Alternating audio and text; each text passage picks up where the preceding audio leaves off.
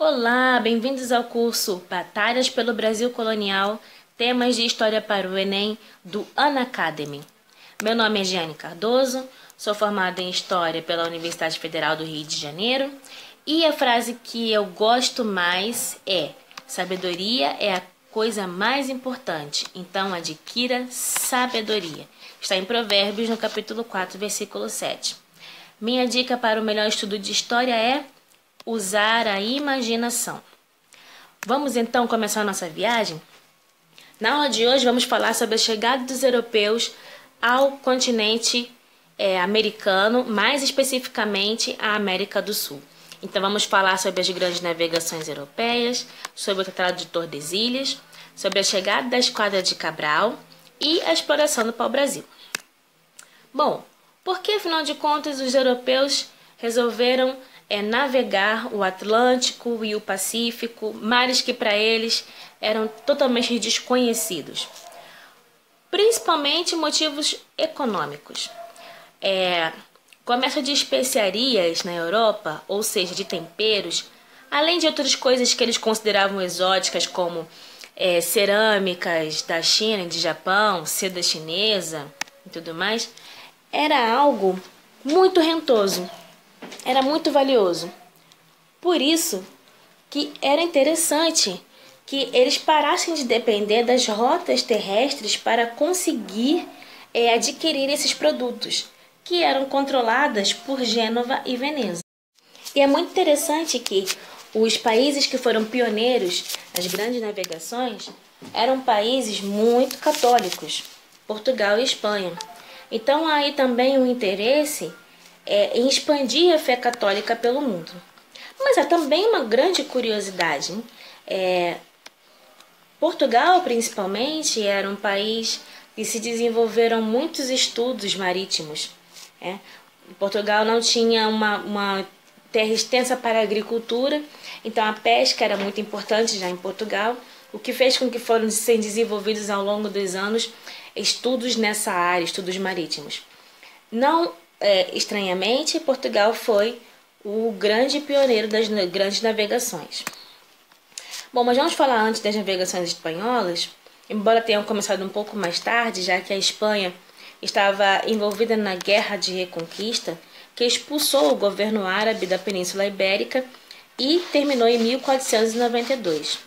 Mesmo tendo começado tarde, a Espanha fez um grande feito na Europa porque Colombo chegou à América do Sul em 1492, embora eles ainda tenham pensado na época que Colombo havia chegado às Índias né, ou à Ásia, o lugar onde eles queriam obter especiarias e outros produtos, foi um grande feito porque foi uma viagem que demorou três meses né, pelo Atlântico e isso foi algo grande.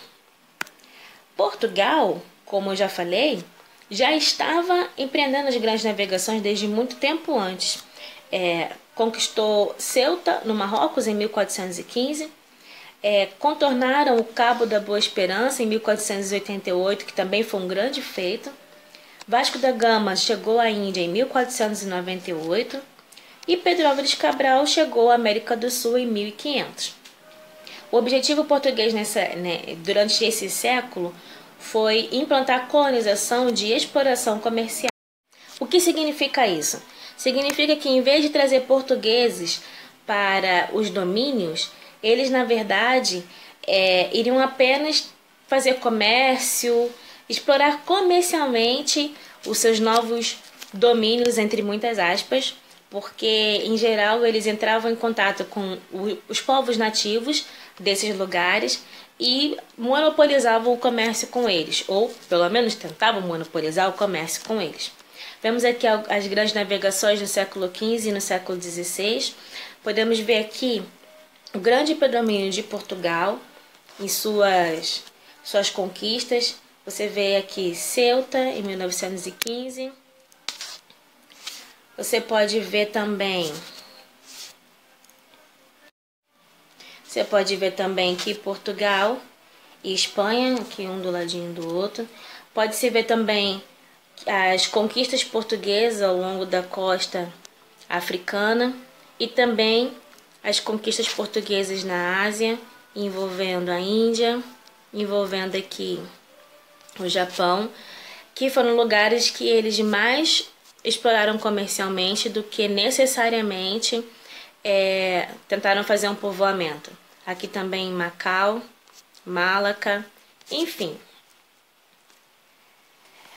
O que importa é que quando Colombo chegou à América Central achando que havia chegado em alguma parte da Ásia, é, e publicando que havia chegado em alguma parte da Ásia, isso fez com que Portugal e Espanha entrassem numa disputa que foi resolvida por meio do Tratado de Tordesilhas na Espanha, mediada pelo Papa Alexandre VI em 1498.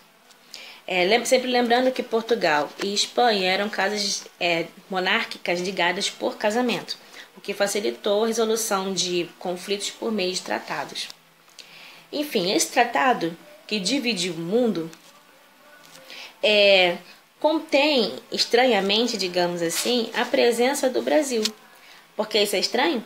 Porque a esquadra de Cabral teria chegado em 1500, que é tradicionalmente o ano de descoberta do Brasil. Né? Mas alguns historiadores explicam que é provável que Duarte Pacheco Pereira tenha feito uma, uma expedição para identificar que terras pertenceriam a Portugal e que terras pertenceriam à Espanha ainda no ano de 1498. E isso explicaria o fato de elas já constarem no Tratado de Tordesilhas. Mas ainda há muita controvérsia sobre, esse, sobre, esse, sobre isso, se é um fato assim, histórico mesmo ou não. Enfim, o que importa é que realmente a partir da chegada de Cabral é que foram criadas relações com os povos indígenas do litoral. Então não importa tanto se, quer dizer, não há, há uma grande importância na chegada de Cabral porque foi a partir daí que os portugueses realmente estabeleceram alianças e estabeleceram uma colonização comercial no Brasil. E as alianças com os povos indígenas que lhes foram amistosas foram fundamentais. Sem elas não haveria nenhum tipo de conquista portuguesa.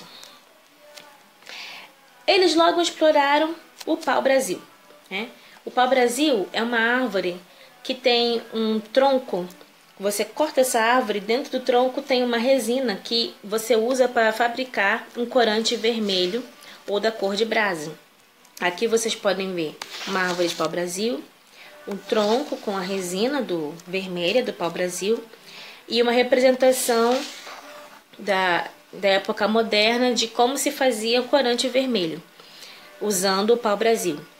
A importância desse corante é a seguinte: a cor vermelha é a cor da realeza. Então era muito caro você comprar uma roupa vermelha e o corante vermelho era muito valioso. Então Portugal já começou fazendo dinheiro com o Brasil, já que aqui existia uma abundância de pau-brasil na costa. E pode-se dizer que já começou é, sendo algo, um produto privatizado, já que a coroa portuguesa concedia o direito de exploração a empreendedores particulares. A primeira concessão foi dada em 1501 a Fernando de Noronha, ou Loronha, e que em 1504 recebeu uma donataria no arquipélago que hoje traz seu nome, as paradisíacas Ilhas de Fernando de Noronha. De 1513 em diante, permitia-se a exploração mediante pagamento de 20% à coroa portuguesa. Quem trabalhava na exploração né, na, no, no comércio para o Brasil? Os nativos. Eles eram a força de trabalho. Eles recebiam em troca mercadorias e objetos, não dinheiro, que para eles esses objetos eram interessantes, né? como espelhos, ferramentas, colares. É um tipo de trabalho chamado escambo. E a coroa também exigia que aqueles que explorassem pau-brasil edificassem fortalezas ou feitorias e apoiassem o envio de embarcações, principalmente para proteger o pau-brasil da pirataria. A costa brasileira começou a ser frequentada por piratas assim que o pau-brasil eh, começou a ser comercializado. Bom, a exploração do pau-brasil foi feita num ritmo tão violento que já em 1530 não havia mais como atender a demanda europeia, porque eram derrubadas cerca de 2 milhões de árvores. É, e 100 anos foram derrubados 2, 2 milhões de árvores. Né? É, então não havia como continuar vendendo tanto para o Brasil. No entanto, mesmo assim, esse comércio durou até o século XIX, mesmo tendo que andar mais de 20 quilômetros da costa para poder conseguir o pau-brasil. Agora, gostaríamos que vocês pensassem. Existe muita controvérsia sobre como a chegada dos europeus é, à América do Sul deve ser encarada. Alguns falam contra o termo descobrimento, outros veem a chegada dos europeus como pura e simples invasão e agressão. Claro, porque já haviam pessoas morando aqui. Né? Outros entendem que essa visão é radical e, apesar de violenta, que a iniciativa colonizadora precisa levar em conta a cultura europeia da época. Quero saber é a sua opinião sobre esse assunto. Por favor, coloque nos comentários. Como deve ser encarada a chegada dos europeus na América do Sul? Aí tá um pouco da bibliografia que eu usei. Sigam aí o curso, sigam a gente e participem para deixar o curso mais interessante. Obrigada por tudo e até a próxima aula.